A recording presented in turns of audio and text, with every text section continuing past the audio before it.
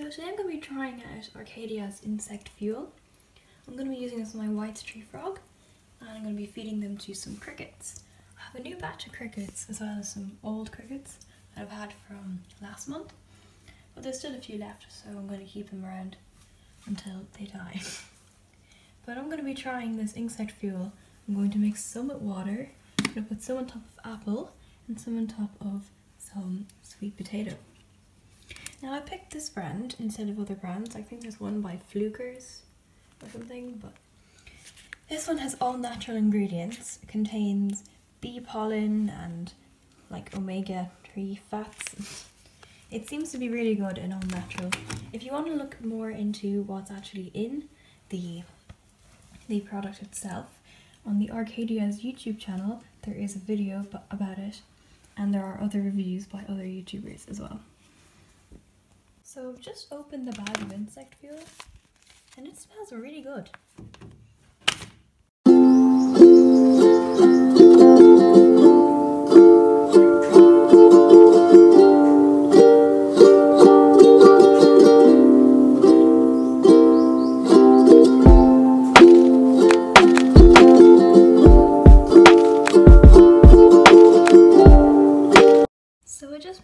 Mistake about the one they mix with water. Apparently it's supposed to mixed with warm water and I mixed it with cold water. So I'm gonna have to make a new batch. So I just got the warm water, I'm just gonna mix it with some insect fuel and then we'll be done. So I've just mixed it up and I hope I made it properly because my one here was kind of like a, a light green colour but then the one on the box looks very dark. I don't know if I'm doing something wrong.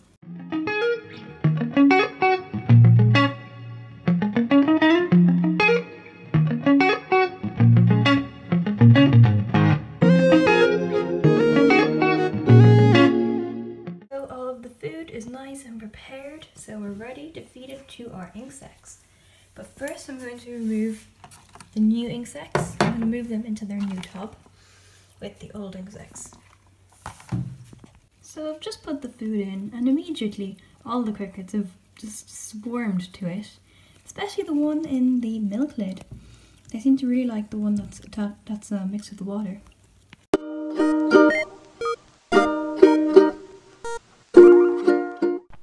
So before I end, I would just like to discuss the importance of gut loading your insects. It just packs them full of nutrients and vitamins that your animal will end up eating.